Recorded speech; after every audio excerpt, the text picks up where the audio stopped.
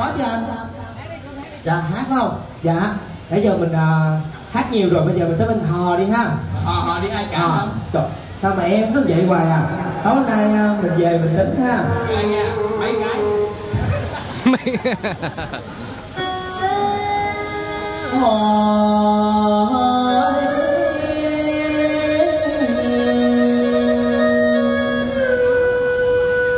sông sâu xa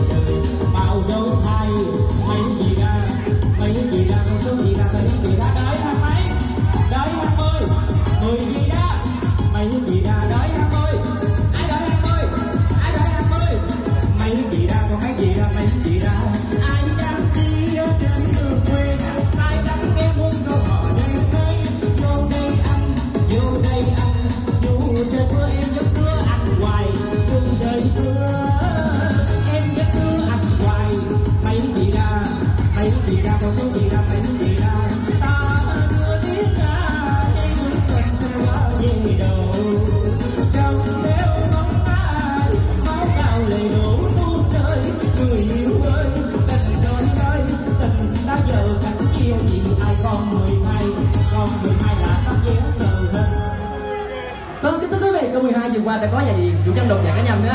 Chúng ta mời sự hội tại là vé để chúng em kiểm tra. Dạ, rồi, sự 12. nhà mình nha. Dạ con 12 cô chú chị mình kiểm tra giùm em nha Sau đó đu dây lộn mèo lên sân khấu giùm cho em Cho em kiểm tra luôn Dạ Vòng loại 0275 Hợp lệ, Con 12 có một. Dạ hồi nãy anh chọn cái dòng nào chứ Cái cái cái, cái hàng nào vậy Mới đọc À rồi. rồi 25 Có hai, 39 có ba. 43 Hợp lệ, Chúc mừng anh. Dạ cho em chụp đến giò dễ của mình luôn.